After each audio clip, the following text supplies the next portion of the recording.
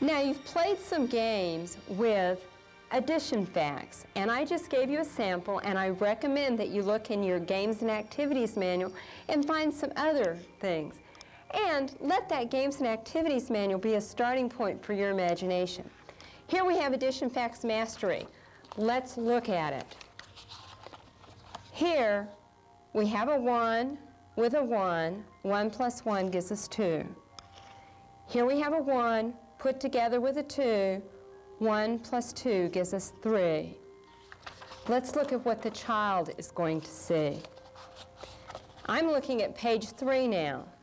Here we have a 3. The child will fill in the 3 with a 1, and the answer is already filled in there. It's a 4. Here we see a 2 bar that we're going to get put together with a 2 bar. Now what's going to happen when the child gets out a 2 and a 2? Have them do that. Here's a 2 bar and another 2 bar and a 2 bar and a 2 bar is the same as a 4 bar. And if they need to do that, have them do that. You see how they're going to have a lot of fun just filling in those problems.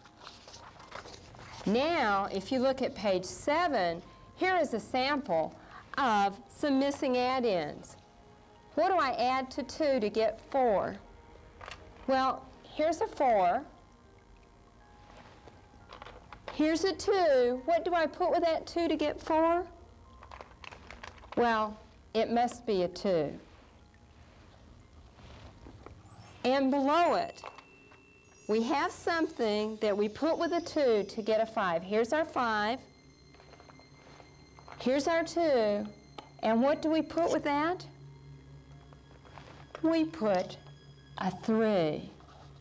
So 3 plus 2 is the same as 5. Notice that the missing number changes position. Sometimes it's over here on the right, sometimes it's on the left, and sometimes it's in the middle. This is very important. Children will see problems like this on standardized tests, but aside from the standardized test, it really makes sure that they understand the concept of addition and that they think of the equal sign as meaning the same as. I hope you see that the child could be working in the smiley face books and working on their place value in the counting books and also beginning to work in the addition facts mastery, especially if they have those writing skills.